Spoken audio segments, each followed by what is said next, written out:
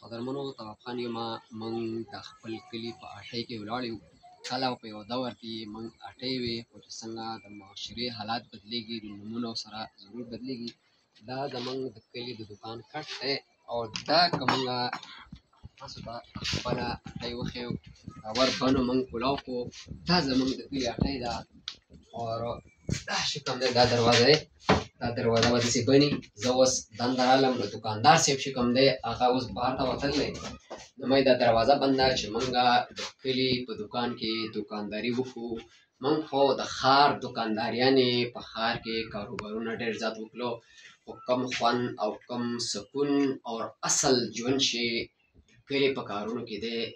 ډېر سخت کارونه دي او ډېر څه حالات دي خو کلی خو کلی دی دا چې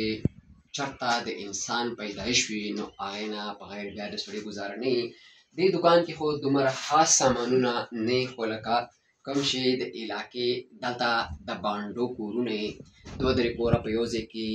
درې څلور کوره په بل ځای کې نو د هغې د ضرورت په مطابق چې کوم څیزونه هغه په دې دوکانونو کې دستیاب وي دلته دوکانونه خو نه وي خو یا نیمونې ځای کې دوکانې او دې ته به په مخکنۍ زمانه کې اټۍ وي نو موږ نن په خپله اټۍ کې ولاړ یو او د خپل کلي ویډیو تاسو سره شیره کړو مهرباني